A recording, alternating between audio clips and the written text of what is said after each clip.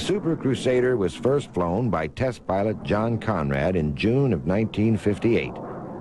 Later that summer, it would reach a blazing Mach 2.6, and in a final round of test flights late in the year, it remained the only competitor to the mighty F-4 Phantom.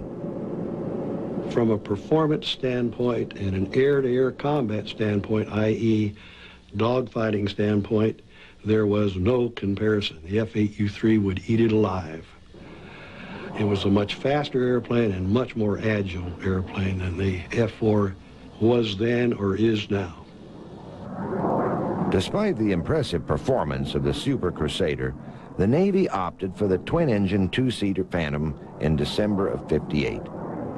Following the Navy's decision, the F-8U-3 program was canceled, and all five aircraft were turned over to NASA for high-altitude, high-speed research.